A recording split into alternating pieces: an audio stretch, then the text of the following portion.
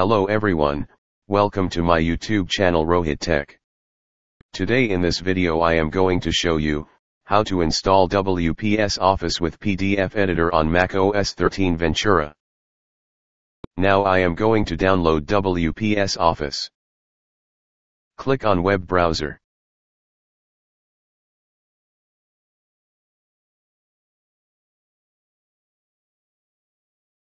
Go to google.com.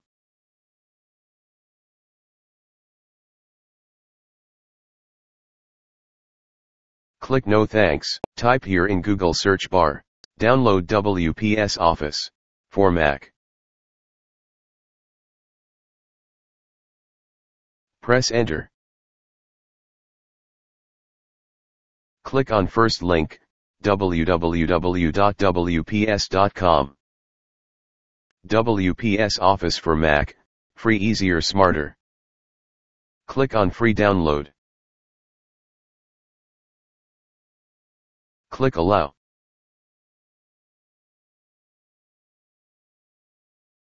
Our WPS Office is downloaded, let's close web browser.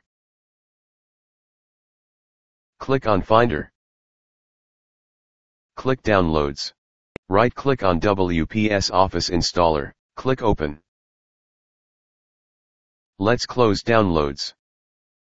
Click Open. Take on I have read and agree to the WPS Office License Agreement. Click Install now. Now it is downloading the supporting files. Now installation is process in WPS Office. Now the installation was completed successfully.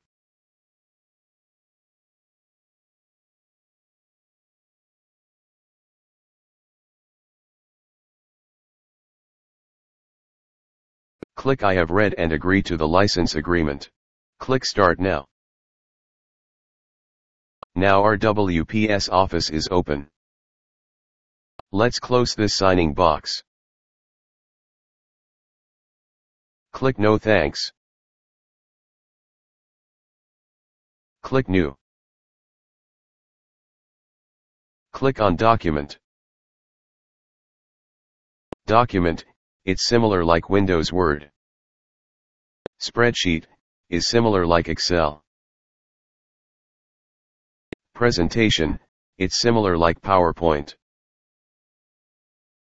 PDF, you can create and modify the PDF document. Click on Spreadsheet. Click on plus sign, create new spreadsheet. Spreadsheet, it's similar like Excel, you can create an accounting data, put formula on this sheet and any professional works also. Let's close this tab. Click New.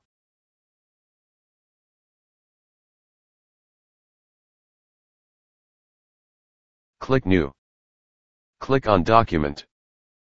Click on plus sign, create new document. As you can see, WPS document similar like Windows Words, you can create here resume, CV and any professional work here. Let's close this tab. Let's close WPS Office. So viewers in this video you can learn, how to download and install WPS Office on Mac OS 13 Ventura. Thanks for watching this video. Please like share and subscribe my channel and press the bell icon for latest updates.